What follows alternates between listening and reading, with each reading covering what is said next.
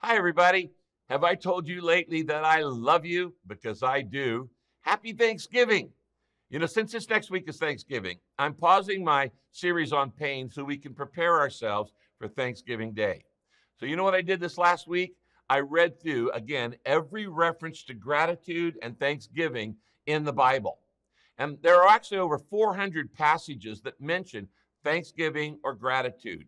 Now, what I saw in my Bible study were two big ideas. First, God wants gratitude to be the primary motivation behind everything we do or say or think.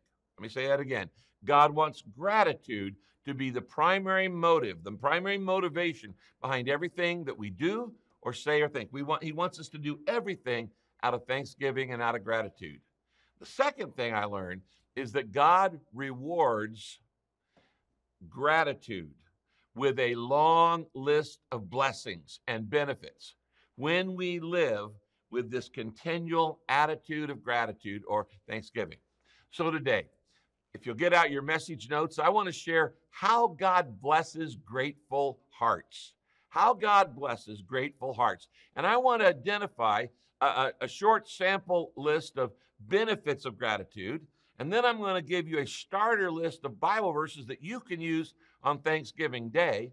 And then we're going to practice God's three favorite ways that He loves for us to use in expressing our gratitude to Him. This is what I call God's love language. Now, let's start by reading the top two scriptures uh, on the top of your outline. Deuteronomy chapter 28, verses 1 to 8, talks about the importance of obedience and the blessing that God gives when we obey his commands. It says this Deuteronomy 28, 1 to 8. If you fully obey the Lord your God, and if you carefully follow all his commands, all of these blessings will be yours. And then he gives us a laundry list. The Lord will bless you in the city and in the country. He will bless your children, as well as blessing your crops and your livestock. The Lord will bless your harvest and the food you prepare. The Lord will bless wherever you go. The Lord will even defeat your enemies when they attack you. Yes, the Lord will send his blessing on all you put your hand to and bless everything you do. Now, God promises these blessings to us if we do what he tells us to do. In other words, if we follow his instructions for life, he says, I'm going to bless everything you do.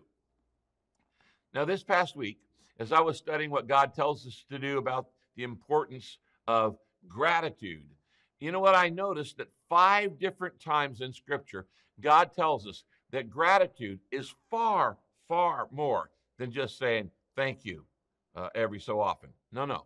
Gratitude is a constant mindset. You might write that down. Gratitude is a constant mindset of thankfulness. It's more than just saying thank you every once in a while to God or to people. It's an attitude of gratitude that you make as your lifestyle. God wants us to respond to everything that happens in our lives with an attitude of gratitude. Now, what I want to do is read the next verse aloud together. So everybody look at that. 1 Thessalonians 5:18 from the New Living Translation and let's read it slowly aloud together. Okay, ready? Always be thankful in all circumstances, for this is God's will for you. Now, always be thankful in all circumstances. That about covers everything, right? There's no loophole there. Always be thankful in all circumstances, for this is God's will for you. Now, if you obey that, God says, I'm going to bless you in every area of your life. And notice that He says, This is God's will for you. God's will for your life. You say, I want to know God's will for my life. God's will is that you are always grateful. You're always thankful. You're always full of the attitude of gratitude. Now, of course, when God wants us to help us do the right thing, He always attaches a benefit or blessings to doing it. I happen to have right now in my library 79 different books on the topic of gratitude. So I've studied this a lot. 79 different books just on the topic of gratitude. And what I've discovered is that both scripture and scientific studies show that having a mindset of gratitude yields great, great blessings. This is an important message that I'm going to share with you before Thanksgiving, but you're going to use it the rest of your life. This could actually be an entire series of messages. But let me just breeze through some bullet points. There on your outline, there's a list of bullet points on the benefits of the blessings of gratitude. Notice first, gratitude improves your brain and your physical health. Did you know that? I, I, don't have time to go into all of these and talk about them, but doctors say that gratitude is the healthiest human emotion. It improves your brain, it improves your physical health. Number two, gratitude creates happiness. If you want to be happy, develop a thankful heart. The happiest people are those who are the most grateful. Number three, gratitude helps you sleep better. You probably didn't know that. That's a recent discovery, but the Bible told us that literally thousands of years ago in the book of Proverbs. Gratitude, number four, is the antidote to toxic emotions. In other words, it defeats things like worry and depression and anger and fear. You can't be grateful and worried at the same time, or depressed and grateful at the same time. It defeats those toxic emotions. The next one gratitude improves relationships. You want better relationships? Become a more grateful man or woman. You know what? If you expressed gratitude more to your spouse, you'd have a whole lot less conflict. And then gratitude opens the door to people and to other opportunities. I had a personal example of that I could tell you this week, but I, I don't have a time to tell you. Gratitude, when you express gratitude to people, you make friends, it opens doors, it gives you opportunities. Gratitude, the Bible says, is the evidence of spiritual maturity. You want to know if you're spiritually mature? How grateful are you? How much do you live with the attitude of gratitude? Colossians 2 9 says this look on the screen. Plant your roots in Christ and let him be the foundation for your life. Be strong in your faith, always overflowing with, circle this, thanksgiving. All right? It is a mark of maturity. That you, the more mature you are, the more grateful you'll be. And then gratitude pleases God and it brings his blessing. The Bible says it's the sacrifice that God loves most, the sacrifice of gratitude. Now, what has always baffled me about Thanksgiving Day is how very little actual time is given to Thanksgiving of God. We, we spend a full day preparing the meal. We spend several hours watching football and, and talking and maybe just hanging out and maybe one or two minutes thanking God in prayer because you don't want the food to get cold with a long prayer. So it even though it's Thanksgiving Day, it's what we do the least of on that day. So I want to give you some homework. It's a homework assignment for Thanksgiving Day with those that you have Thanksgiving with. Here is a starter list for thanking God this Thanksgiving. You say, I don't know what to be thankful for. Well, it's a list of verses. And what I would encourage you to do is when you're sitting at the table together, ask everybody around your table to read one of the verses. Okay? And then after all the verses have been read, you might start a discussion simply asking, well, which of these uh, verses do are you the most thankful for? And it may be something that's already been mentioned, or maybe something that it hasn't been mentioned. What does God want us to be grateful for? Not just at Thanksgiving, but all the time. Well, as we go through this list of verses, and again, didn't give you any blanks, so just circle the reason in each verse, okay? Here are some reasons why we need to be the most grateful people of all people. First, because God gave us life. God gave us life. Psalm 139, 13 and 14. You created and formed me. Circle that. You created and formed me in my mother's body. So I thank you because you made me. I wouldn't even be alive if it weren't for God. That's reason enough. Number two, we can be thankful that we're still alive. Are you glad you're still alive from a year ago? Ecclesiastes 11:8 says, "Be grateful for every year you live." That's another thing to be grateful for. Number three, We can be grateful that He saved us. Psalm 13, verse 5 My heart is happy because you saved me. Number four, we can be grateful because God is good.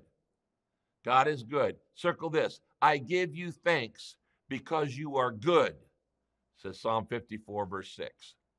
Here's another one. I can be grateful that God answers our prayers. Psalm 118, 21. I praise the Lord for answering my prayers. And I can be grateful that He shows us how to live. Psalm 16, verse 7. I praise the Lord because He guides me. Here's another one. I can praise the Lord. I can thank God that He forgives me. Psalm 18, verse 1. Tell the Lord how thankful you are because He is kind and always merciful. And then, number eight, I can be grateful that He will never stop loving us. Psalm 107, verse 8. Give thanks to the Lord for His unfailing love. Now, I want to spend the rest of our time together looking at what I call God's three favorite ways. God's three favorite ways for us to express gratitude to Him. This last week, in my study of every passage in the Bible that references gratefulness or thanksgiving, I found at least a dozen different ways that God tells us to express our gratitude. He tells us. But I want to focus on just the three most mentioned ways because they are mentioned more than all the others put together. These must be God's favorite expressions of gratitude because, as I said, He refers to them these three that I'm going to share today, more than all the others combined. Now, the Bible has a lot to say about the songs of thanksgiving, the offerings of thanksgiving, and the cup of thanksgiving. I'm sure you're aware that we all have, as human beings, different love languages. Your love language is different than the language of your spouse. What makes your spouse feel loved is different than what makes you feel loved. We like to be told that we're loved in different ways. That's because we're all different. Well, so does God. And what I'm going to share with you today are God's three top love languages. These are the ones that bring him the most pleasure. So let's look at the first one. The first habit of expressing gratitude is this write it down singing back to God singing back to God. Now, you may not know this. Nobody has ever told this to you, but God is a singing God. Did you know that? The Bible tells us that God sings. In fact, and here's the shocker He sings about you. He sings love songs and joyful songs about you. Zephaniah chapter 3, verse 17 says this the Lord your God is with you, and he is your mighty Savior. He takes great delight in you, calming your fears with his love, and he rejoices over you with singing about you. Did you know that verse? God rejoices over you with singing about you. Now, let me just say this. Think about this. You've never heard God sing over you. But one day in heaven, you're going to hear God sing about you. And it's going to be the most beautiful, joy filled sound you've ever heard. I can't wait to hear pure, perfect joy. We have joy on this planet but it's a broken joy. It's an imperfect joy. When God sings, it is pure, perfect joy. And you're going to get to hear God sing over you one day. That's something to look forward to. Have you ever listened to a mother calm her baby by quietly singing to that baby? I, I could never forget the sacred moments of listening to my wife, Kay, love our children with lullabies. I can hear her voice in a soft voice, humming and singing to our babies. That's how God loves you. God sings. You didn't know that. In fact, the only reason music exists in the universe is because God invented it. God is a musical God. And since you were created in his image, you like music too. Horses don't like music, they're not created in his image. Worms don't like music, they're not created in his image. So let me show you just a few verses of scripture where God tells us to express our thanks to him through singing. Psalm 147, verse 7. Sing out your thanks to him. Sing praises to our God. Psalm 95, verse 2. Let us come before him with thanksgiving, that's what we're talking about, and sing joyful songs of praise. Now, now, friends, this is one of the main reasons for coming together to worship together instead of just watching a service online. You miss the value of singing praise together. You may not realize this, but you sing better when you sing with others, right? Yeah. I, I don't like to hear myself sing, but I don't mind singing when there's 500 or 1,000 other people out there. Colossians 3:16 says this, sing psalms and hymns and sacred songs, singing to God with thanksgiving in your hearts. This is the first habit of thanksgiving that God loves, singing back to God. Are you doing that? Some of you go, I, I, I don't sing. Somebody saying, I can't sing. Somebody say, I've lost my voice, or I never had it. Listen, listen closely to a pastor who loves you. God loves your voice. He gave it to you. He gave you your voice. He wants to hear your voice from you, not somebody else's, not you trying to be somebody else. He wants to hear your voice because He gave it to you. And if you are embarrassed about singing with your voice, I'll just be honest with you, you got a pride problem. You got an ego issue. You need to learn to accept yourself the way God does. You need to treat yourself the way God does. God enjoys hearing you sing praise to Him. God wants you to learn to sing to Him all the time. Look at this verse on the screen Psalm 44 8. All day long we praise our God, not just in service at worship on the weekends. All day long we praise to God. We are always grateful to Him. Now, some of us hum more than we sing. We hum our Thanksgiving song. That's okay. You say, well, okay, all day long. What about at night? Well, if you're not going to wake anybody up, sing away. Go right ahead and sing away. But if you got a full house at your home, uh, Psalm 63, verse 6 from the message says this If I'm sleepless at night, I spend hours in grateful reflection. Why? Because that's not going to bother anybody. The first habit of gratitude is singing back to God. Singing back to God. It's one of God's three favorite ways for you to express your gratitude to Him. Now, here's the second habit of gratitude giving back to God. Write that down giving back to God. At Thanksgiving or any other time, we give thanks by giving back to God. We give thanks by giving. We give back the first part of what He has given to us. Let's look at some scripture on this. Psalm 54, verse 6 says this I will offer a sacrificial offering as a special gift to thank you, Lord, because you are so good. That's a thanksgiving offering. We talked about a thanksgiving song, but the Bible talks about a thanksgiving offering, a, a, an offering where we give to give thanks. You know, about 400 years ago, a group of Christian believers who were being persecuted for their faith left Europe and moved to North America in order to establish a colony that allowed religious liberty so they could worship God freely. And those original people who came uh, 400 years ago from Europe were called the Pilgrims. 400 years ago, they established uh, with the Native Americans in their area a Thanksgiving Day in the fall to give thanks to God. That's where the whole Thanksgiving Day got started of the modern days. Now, a lot of nations have Thanksgiving days. 150 years later, after the Pilgrims, America's first president, George Washington, created, at the urging of Congress, the first national Thanksgiving holiday.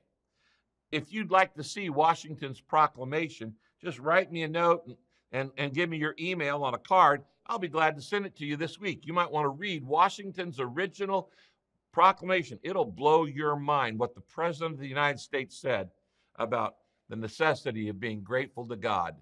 And it's, it's pretty clear. So that happened 400 years ago, the first modern Thanksgiving. And, and then 150 years later, the first Thanksgiving holiday for a nation. But did you know that 3,000 years before that, 3,000 years before that, God had told the nation of Israel to establish a Thanksgiving festival every year called the Feast of Weeks. And they were to celebrate God's goodness and they were to express their gratitude to God by bringing him a special Thanksgiving offering. That's 3,000 years before the modern Thanksgiving Day. Deuteronomy chapter 16, verse 10 and 11 says this. I love this in the TEV version. Celebrate the harvest festival to honor the Lord your God by bringing him a free will offering in proportion to the blessing he has given you. Do this at the place of worship. So in the original Thanksgiving day, we, they were to bring a gift of thanksgiving to the place of thanksgiving. That's the temples where they worshiped. Now, this Thanksgiving offering has been practiced by God's people for thousands and thousands of years. And we've practiced, here at, practiced it here at Saddleback since our church began 42 years ago. So this week, we're going to be doing our annual Thanksgiving offering. It's mentioned many, many times in the Bible, such as in Psalm 116, 17, where King David says this I will sacrifice a thanksgiving offering to you. Now, listen, this is God's second favorite way of being thanked. He talks about it over and over and over. The thanksgiving offering is mentioned many times in Scripture. In Psalm 50, verse 23, God says this Those people who truly honor me are those, who are they? Who bring me offerings to show thanks. Those people who truly honor me, God says, are those who bring the offerings to show thanks. And I, God, save those who do that. It's one of God's favorite love languages singing back to God and giving back to God. Is it our, eh, eh, you know, examples and illustrations of gratitude.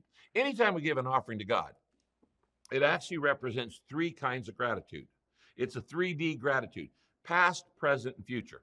Uh, when I give an offering to God, it represents I'm grateful for God's blessing in the past, I'm grateful for God's blessing today, and I'm grateful in faith for God's continued blessing in the future. I thank Him for the past, I thank Him for today, and I thank Him that He's going to keep on taking care of me in the future. Three kinds of gratitude. So, what kind of offering are we to bring to show our gratitude to God? Well, the Bible says it over and over and over and over. We are to give God the first part of our income, not the leftovers. Not, well, I pay all my bills and whatever's left, I'll give to God. We are to put God first in our finances. Now, God knows this is a step of faith, putting Him first, which is why He tells us to do it, because it's a step of faith. God is more interested in your faith. He, he certainly doesn't need your money. God doesn't need your money. He owns it all. Eh, the money you got isn't really yours. It was somebody else's for years. It's yours right now on loan. It's be loaned to somebody else later. God just wants to know if you trust Him. Now, as I said, with every principle God gives us, that God gives us, He also attaches a, pr- a promise. There are more promises in the Bible related to giving back to God than any other promises in the scripture. Proverbs 3 9 and 10 is a good example. Proverbs 3 9 and 10 says this Honor the Lord by giving him, circle this, the first part, circle first part, by giving him the first part of your income. And here's the promise. That was the premise. Here's the promise. He will fill your barns and barrels to overflow with more. God says giving him an offering is not just an act of gratitude, it's an act of faith. And God always honors faith. So he promises to bless you back. That's why I said there are more promises in the Bible attached to giving and generosity than any other subject. Why? God wants his children to be like him. God is a generous God. Everything you have in life is a gift of God's love. God is the number one giver. God so loved the world that he gave. You can love, you can give without loving, but you can't love without giving. God so loved that he gave. And if you love God, you're going to give. And if you love others, you're going to give. Now, he says, here's the promise give me the first part, and I'll overflow your barns and your barrels. In other words, you're going to get back more than you could possibly eh, give to me. God has said, You give to me, and I'll give to you, and we'll see who wins. Now, Jesus expanded and extended the promise we just read, Proverbs 3, by saying it this way in Luke chapter 6, verse 38. Look up here on the screen. This is from the New Living Translation, Luke 6, 38. If you give, this is Jesus talking, if you give, you will receive. And your gift will return to you in full measure. And then he says, pressed down, shaken together to make room for more. Like you got a bag of beans, you keep shaking it so it can hold more. Press down, press down, shaken together to make room for more and running over. Whatever measure you use in giving, large or small, Jesus is talking. It will be used to measure what is given back to you. Do you believe that verse? Do you believe that if you give, God will give back more to you? How much do you trust God? Do you think Jesus is a liar? You know what I've never understood, friends? I've never understood why do people trust Jesus to forgive their sins and save their souls and take them to heaven, but they don't trust the same Jesus with their finances and the promises he makes about that. It makes no sense at all. If you can't trust Jesus with, with your finances, why do you trust him for your salvation? Really, this is a faith issue. How much do you trust God? What we're talking about, of course, giving the first part back to God, is called the principle of tithing. Tithing is the old English word, means 10%. It's not 12%, it's not 20, it's not 1%. Tithing means the first 10%. If I make $10, the first dollar goes back to God. If I make $100, the first $10 go back to God. First, we give the first 10% of our income back to God in faith and gratitude, and then He blesses the other 90%. Look at these last two verses uh, in this section Deuteronomy 14 23, Living Bible. Bring your tithe, that's the first 10%. Bring your tithe to the Lord, the first of all you earn. The purpose of tithing is to teach you to always put God first in your lives. Now, you may say, well, God's first in my life. Well, let me see two things. Let me see your calendar and let me see your checkbook. Because the way you spend your time and the way you spend your money tells me what's really first in your life. And then one of the greatest promises of all, it's the only promise in the Bible where God says, You can prove that I exist. It's a good verse for atheists. You want to prove God's exist? Tithe. Here's what God says Malachi 3:10. Bring your whole tithe, that's 10%, to my storehouse, says the Lord, so there will be food in my house. You bring the first 10% on the first day of the week as an act that God is first. And what's first day of week? Sunday. As an act of worship, you bring it to my storehouse, says the Lord. You, don't give your tithe to, to your sister or, or to some uh, nice organization out there. It go, belongs to God. It goes to his temple. It goes to his storehouse. It says there will be food in my house. And then he says this, test me in this. You know, dare you. Try it. You like it. Test me. Here's the Pepsi challenge verse. Test me in this and see if I won't throw open the floodgates of heaven and pour out so much blessing, you won't have enough room for it. Wow. God says this is the way you can prove God exists tithe. All right? Tithe. Put Him first. And that is God's second favorite way of being told you trust Him, of being told you're grateful. We sing songs of thanksgiving and we give back to God in thanksgiving. Now, both last week and this week, uh, those of you who came to worship uh, at one of our campuses, you received uh, the offering envelope for our annual Thanksgiving offering. It's our annual offering to God. We do it every year. I told you last week, I didn't even want you to give last week. I said, take it home and pray about it because you really need to thank God and ask God about it. And I told you, take it home, pray about it. And if you're ready, you can give your Thanksgiving offering uh, when we sing in just a minute. But if you haven't really prayed about it, uh, you can take your envelope home. You can mail it in during Thanksgiving weekend, or you can bring it next weekend. Of course, if you set up online tithing, like most of us have, that's what Kay and I have, uh, you, you can do that. You can just tithe online. You know, every single week, you guys, I receive the most amazing letters and testimonies from people expressing their gratitude to God through generosity. One recently was from a guy who a number of years ago was down on his luck and he came to Saddleback's free clinic. And uh, and he you know he we helped him in his time of need. And a few years later he sent a check and it was for a hundred thousand dollars. Let me read you just one letter that i received this week. And uh, uh, then we're going to give our thanksgiving offering. Here's the letter. It says this. It's not addressed to me it's actually addressed to you Dear Saddleback Church, this is from a woman back in the Midwest. She says, Dear Saddleback Church family, I've been watching online services from my home in the Midwest since the onset of COVID in March 2020 to, to today. Your services have been a real blessing to me. I'm often singing and crying alone as I have found inspiration from the services of Saddleback from week to week. Now, these 20 months have been trying in so many ways. So, the messages about hope and grace and even pain today, which was last week, have never been more real. Then she writes, Sometimes I ponder what my real purpose is, but God has blessed me well financially. So it may be that part of my purpose is to help you continue to build your Saddleback church. she says, I'll probably never get to worship in the new facility you're in, although it looks incredible. But my heart will certainly be with you and be with all of you there. So continue your fabulous work. And she signed her name and she sent a check this week for $50,000. This is a woman who's never even been to our church, but she says, I want to support the building of Saddleback Church and all its campuses.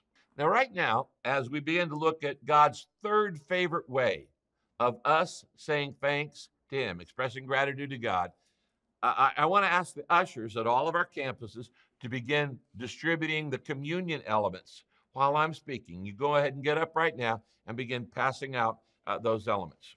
Now, we said that the first of God's three favorite ways that he loves to be shown gratitude is singing back to God. And the second favorite way that God has is for us to give back to God. And we've seen the Thanksgiving song and we've seen the power of the Thanksgiving offering. But now we come to what's called the Thanksgiving cup. And what we're talking about is taking the Lord's Supper together as an act of gratitude. God's third favorite way of being told that we love Him is through communion, through the Lord's Supper. The third habit of gratitude is this write it down communion with God. 1 Corinthians chapter 11, verses 23 to 27. Look up here on the screen. It's not on your outline. It says this On the night that he was betrayed, Jesus took bread, and when he had given thanks, he broke it and he broke the bread and he and, and he said, This is my body, which is for you. Do this in remembrance of me. Then, in the same way, Jesus took the cup and he said, This cup is the new covenant in my blood.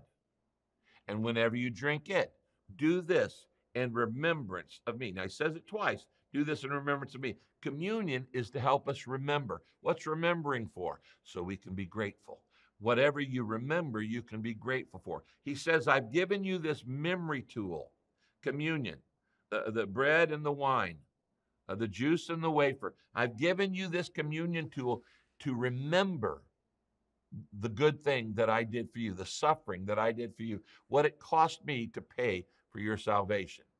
Jesus, the Bible says this For whenever you eat the bread and you drink the cup, you proclaim the Lord's death. It's a remember, remembering of God's great gift on Calvary, Jesus' death on the cross. You proclaim the Lord's death until he comes again. He didn't stay dead. He's coming back again. That's what Easter is all about. And then the Bible says, therefore, whoever eats the bread or drinks the cup of the Lord in an unworthy manner will be guilty of sinning against the body and the blood of the Lord. What does that phrase mean, an unworthy manner? You know, as a young Christian, I often wondered and was even a little worried what that meant to take the Lord's Supper, to take communion in an unworthy manner. But I now believe that taking the Lord's Supper in an unworthy manner includes taking communion without truly being grateful for all Jesus paid for with his death on the cross. To take it in an unworthy manner is to reject the power of the cross. It is to take communion without fully understanding and fully accepting and fully being grateful for Jesus' sacrifice for me. This is Jesus' third favorite way of us expressing our thanks to Him. He gave us the memory tool of communion.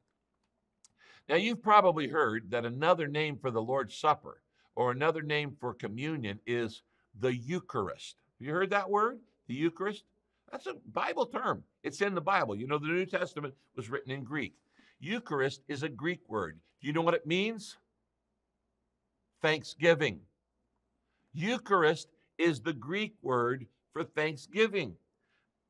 The communion is to be an, a, a, a, uh, model of thanksgiving. It's a way we give thanks back to God. First, through the Thanksgiving song, second, through the Thanksgiving offering, and third, through the Thanksgiving cup.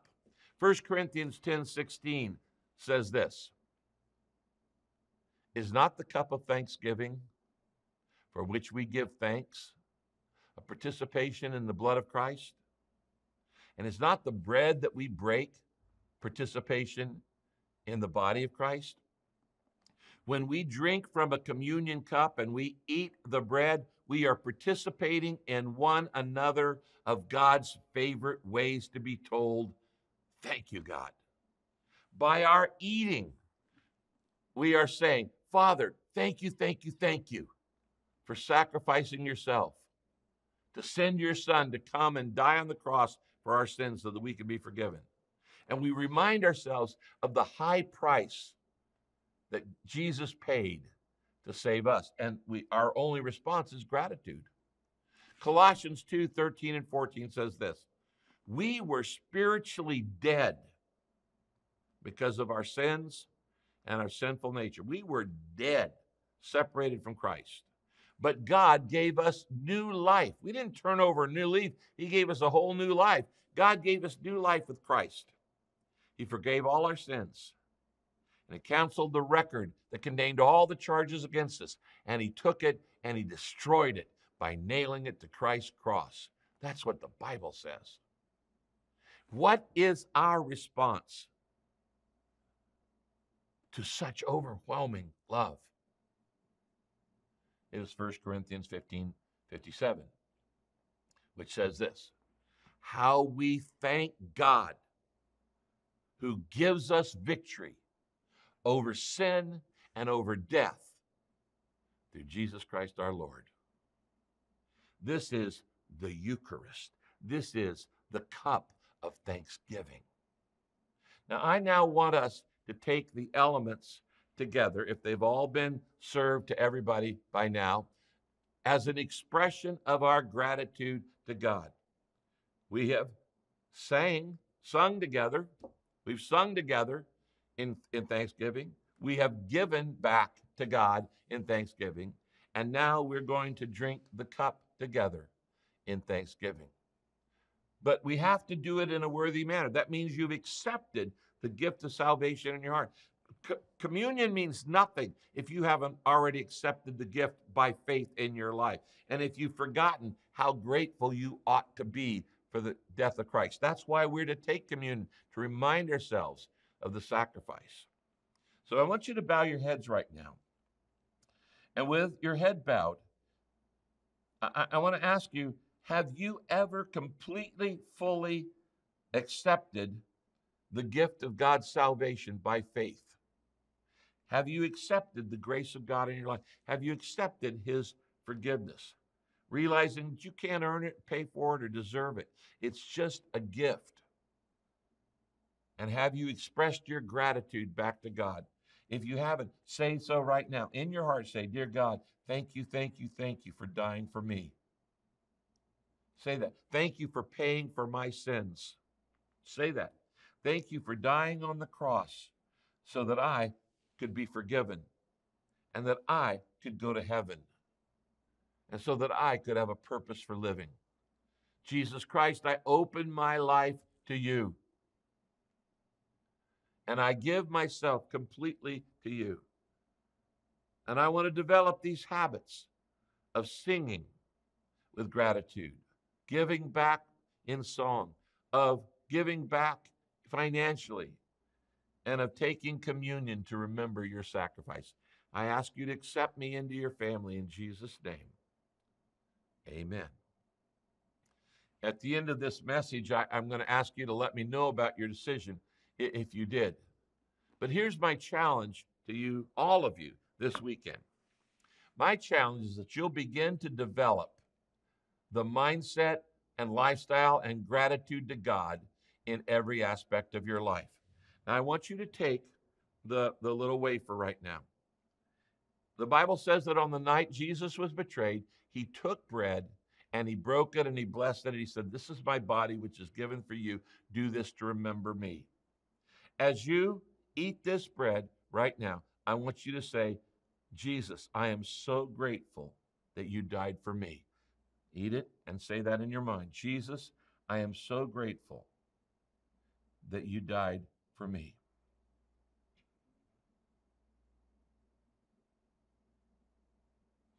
Tell him how grateful you are that he did what you can't do for yourself. The Bible says, in the same way, that Jesus took the cup of the new covenant. He said, This is the cup of the new covenant representing my blood. And he said, I want you to do this to remember me. And he said, As often as you drink it, do this to remember me. As you drink this little cup right now, I want you, in your own words, to express your gratitude to God for Jesus saving you. Just say it in any way in your heart that you want to say it.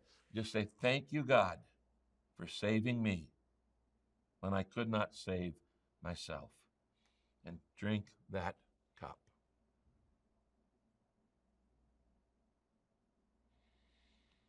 I hope you're going to make these three habits the habit of singing back to God, giving back to God, our tithe, and communion with God through the elements, a regular part of your Christian life.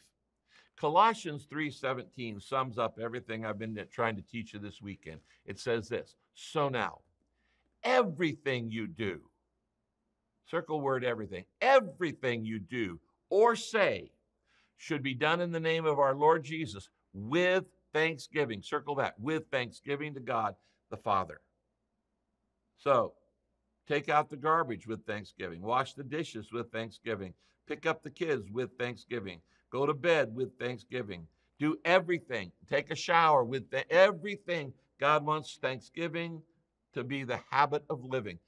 It is a mindset, not simply saying thank you every once in a while. Now, since that's what that scripture says, let me ask you will you commit? Will you personally commit from this day forward for the rest of your life? Since you know that God wants everything to be done with gratitude, will you commit to regularly expressing your gratitude to God by singing back to Him, by giving back to Him through tithing, and by taking communion? If so, I want you to drive a stake in the ground today that you never forget it. I want you to let me know of your decision. I want you to pull out a card uh, in your uh, program, and, and I want you to write your name and, and your address on it. Okay, these are going to come directly to me, and I want you to write two words I'm thankful. Write your name and, and your address and the phrase or email and the phrase I'm thankful. Means you're committing to these habits for the rest of your life. Now, if you're not thankful, do nothing. Do nothing if you're not thankful. But if you are thankful and you want to thank God in the ways He likes to be thanked the most, in His love language, He did everything for you. You owe Him everything your own life, your salvation, all those things we looked at. If you, if you are thankful, get out a card, write your name and, and uh, you know, contact information on it, and write the phrase, I'm thankful. That's it, the phrase, I'm thankful. Now, as we close, I just have to mention one more way to show God's gratitude, and here it is by telling other people the good news. By telling other people the good news. When you witness, when you invite people to church, when you share a book, when you tell other people about the Lord, you share a testimony, that is the representation of gratitude. Isaiah 12, verse 4 says this Thank the Lord, praise his name, and tell the world what he's done. They all go together. You thank the Lord and you praise his name by telling the world he has done. Who have you told about Jesus? Who have you told about the good news? When was the last time you talked to anybody about the good news? 2 Corinthians 4:15 says this. This is a verse that's been a theme verse of Saddleback for 42 years. 2 Corinthians 4:15. The grace that is reaching more and more people will cause thanksgiving to overflow to the glory of God. Why do we keep growing? Why do we keep reaching out? Why do all our campus keep moving and getting in bigger buildings and better locations? Because as more and more people experience the grace of God, it will cause thanksgiving to overflow to the glory of God. And anytime you invite somebody to come with you to church, it is an expression of gratitude to God. We're getting ready to start Christmas season. Next week, we start Christmas season together. More people are likely to come at Christmas than any other time. Why don't you plan to bring somebody with you next weekend for the next part in our series? I love you. I'm praying for you, and I thank God for you. I'll see you next weekend.